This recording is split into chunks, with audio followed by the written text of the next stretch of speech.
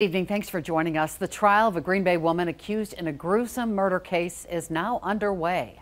Jury has now been seated in the case of Taylor Schabusiness. She's facing three felony counts, including first-degree intentional homicide for the murder of 24-year-old Shad Thyrion in February of 2022.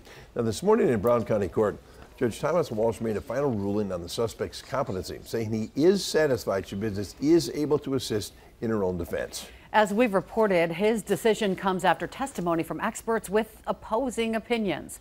Brittany Schmidt has been following this case very closely for us since the very beginning. She's joining us now live in the newsroom with details about the jury in this case. Brittany.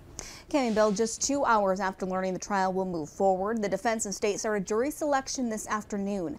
Of the potential 110 jurors reporting to court at 1 p.m., the state and defense whittle it down to 16 people to hear the case, including four alternatives.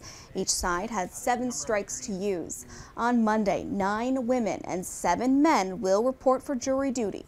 Because of the graphic nature of this case and allegations, jurors were asked if they could handle what they might hear and see during trial. The judge reminding all jurors about the presumption of innocence in this criminal case. Uh, the defendant is entitled to a presumption of innocence, and the burden is on the state to move forward with proof. Is there anyone among you who is unwilling or unable to accept that principle? And no hands are up.